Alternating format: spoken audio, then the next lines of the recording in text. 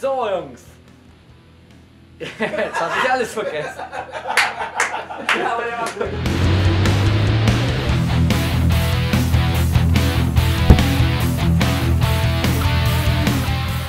Hey, hallo, ich bin Johnny von Sirens und wir sind hier am Probewochenende für unser Album. Da drin sind die Jungs und die arbeiten sich heiß und gleich gehen wir rein und schauen mal, was die so treiben. Also folgt mir. Ha!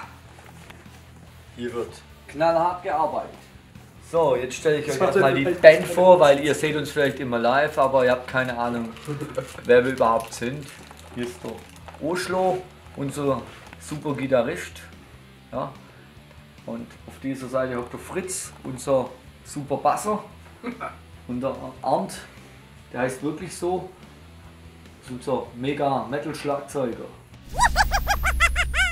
Wie kommst du zu deinen legendären Ritter, Gitarren, Rhythmen Sound. und Solis auf unserem Album? Wie kommt, wie kommt es einfach so zu dir? Hörst du das raus? Auf der Gitarre, ja. Ich blick die Frage nicht. Ja, wie entstehen deine Solos? Ich spiele halt drauf 10.000 Mal. Und dann klappt's und dann bin ich kurz nach zwei Tagen wieder an und denke, alles scheiße. Und dann habe ich eine Zeit lang keinen Bock mehr. Und dann kommt der Fritz, sagt, ey, das ist voll scheiße. Mach das mal so. Verstehe ich, die, genau. dann verstehe ich die Welt nicht mehr. Und dann sage ich, ich leck mich am Arsch, ich mache jetzt einfach und irgendwann funktioniert es dann. Alter. Fritz, pass auf, wie kommst du an die Texte ran?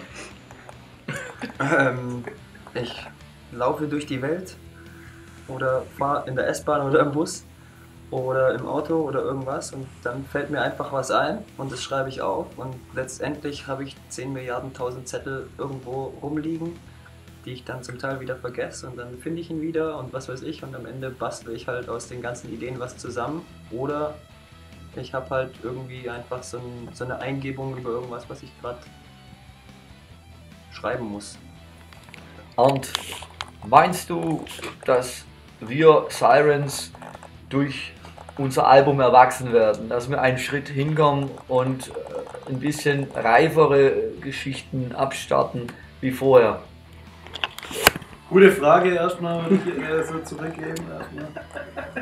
Ähm, da das ja jetzt tatsächlich das erste Album ist, ist es auf jeden Fall ein Schritt in die richtige Richtung, gerade zum Erwachsenwerden der Band.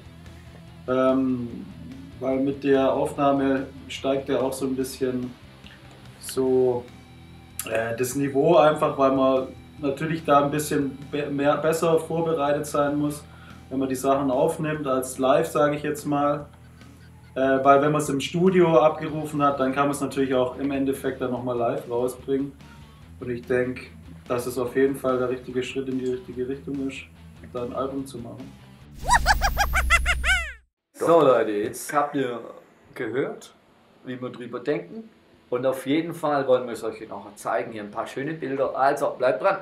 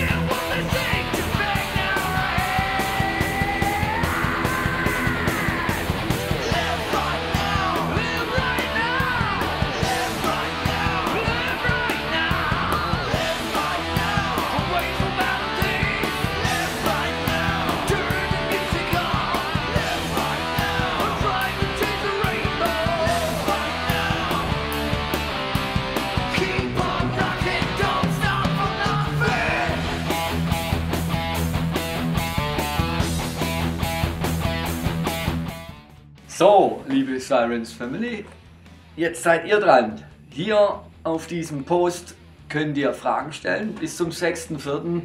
werden wir warten und die besten drei Fragen werden dann an mich gestellt. Also Leute, gebt Gummi und ich bin gespannt, was ihr mich fragen wollt. Bis dann.